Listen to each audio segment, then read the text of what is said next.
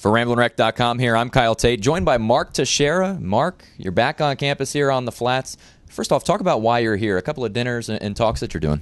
Yeah, last night I spent the uh, endowment dinner for the Georgia Tech Athletic Association and Alexander Tharpe Fund, and as a recipient of a scholarship, you know, 10 years ago when I was at Georgia Tech, it's great to be able to give back now to the, you know the future, the current and future students uh, and great athletes here at Tech. Now, let's rewind back to 1998. You're coming out of high school. Why'd you choose Georgia Tech? You're from Maryland, so it's a long way to go. Yeah, you know what? I, wanted to go down south or, or, somewhere where it was warmer. You know, Baltimore isn't the greatest place for baseball weather-wise. You know that we have a lot of talent, and um, you know most of the ball players that that I grew up in my area, you know, went outside of the state to look for places to play, and so I visited all over the country, and, and I went to Georgia Tech, and as soon as I came here and met Coach Hall and met the entire team, I knew it was the place for me. Looking back on your time here on the Flats, 1998 to 2001, what memories stick out to you about that time?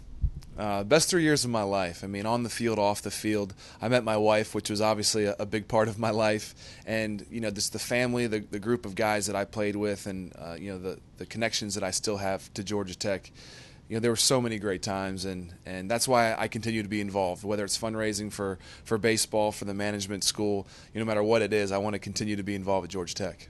In 2001, drafted number five overall by the Texas Rangers organization. You only played in the minors for about a year. Just talk about your quick ascension up to the Rangers uh, big league team. And, you know, you didn't have to deal with those bus rides for too long. Yeah, and I give a lot of credit to Georgia Tech because of that. You know, I spent three years at a top program. We had some great times, and, and Coach Hall does a great job of running his program a lot like a, a pro you know a pro team would, would be run. You know the guys we're all here because we're good. You know we can play the game. Coach Hall gives us a lot of um, you know respect and, and lets us you know try to be the best players we can be. So I, I developed in my three years here that would have been spent three years in the minor leagues. So you know when I got to my first year in the minors, it's almost like I'd been there for three years already, and uh, because of that, I only spent a year after four and a half years playing with the Rangers. You got to come to Atlanta. You sort of got to come home, even though your home's up in Maryland. You got to play in front of a home crowd where you played college. What was that like playing for the Braves? It was incredible. You know, one of the best years of, of my career, you know, on the field, being able to see family and friends off the field, being closer to Tech.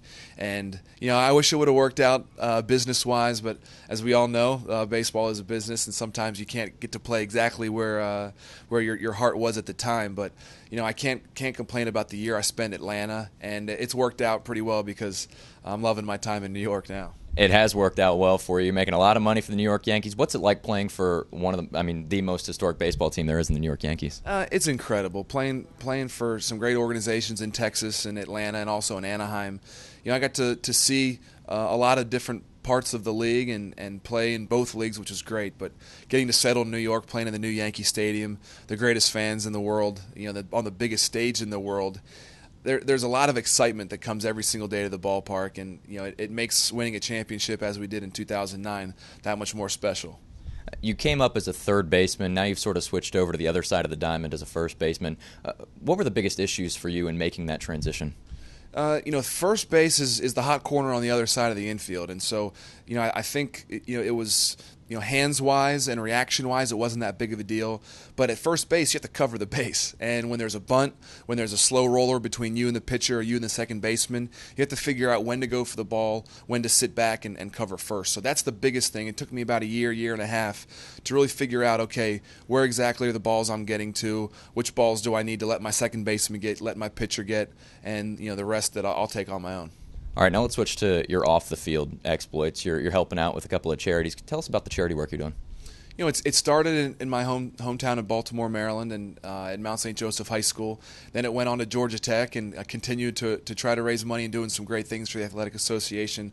Right now, we're trying to, to raise some money to do some improvements to, to Russ Chandler Stadium, which is you know one of the best stadiums in baseball. But it is 10 years old now, and we need to you know step up the uh, you know the, the inside of the stadium. The, the playing surface is great, the stadium itself is great, but the clubhouse, the batting cages, things like that for our players that are that are great recruiting tools, and then will also help them on the field. Uh, we're doing that, and also in New York, I've started work with Harlem RBI, which is an amazing organization that gives kids in Harlem that would otherwise have have no future, not have a chance to go to college, not have a chance to even graduate high school. Uh, Harlem RBI has given them that opportunity, and it's fun to be a part of. Excellent. Now, uh, one last question. A lot of kids are very tempted when they're drafted out of high school. You yourself were drafted in the ninth round by the Red Sox, um, but you decided to go to college. What can you tell kids that are trying to make that decision between high school and college? You know, for me, I wanted to go to college and, and have fun first of all, get an education second of all, but also be more prepared for minor league baseball and more prepared for the major leagues. I would never want to be in a situation where so many kids are that they signed out of high school, might have gotten a little bit of a signing bonus, but it didn't work out, and you're 25 or 30 years old without a college education, and you have to start from scratch. So it was it was a great uh, a great choice for me because it worked out not only personally with meeting my wife and having the three best years of my life, but also professionally because I was that much more prepared for Major League Baseball. So I'd always tell the kids that you know you're never going to get those four years back of college, three or four years of college. It's it's a lot of fun, and three or four years of college is a lot better than three or four years in the minor leagues. All right, Mark, thanks so much. All right, thanks, guys. That's Mark Teixeira joining us here on RamblinWreck.com. Until next time, I'm Kyle Tait.